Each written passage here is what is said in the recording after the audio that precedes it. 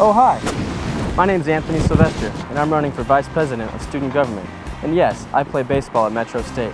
As a catcher, nothing gets by me. Balls in the dirt, base runners, student issues, and even parking.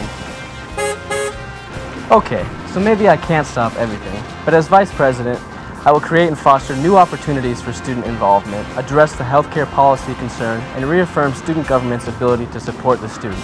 Vote for Anthony Sylvester. Get empowered. Get involved.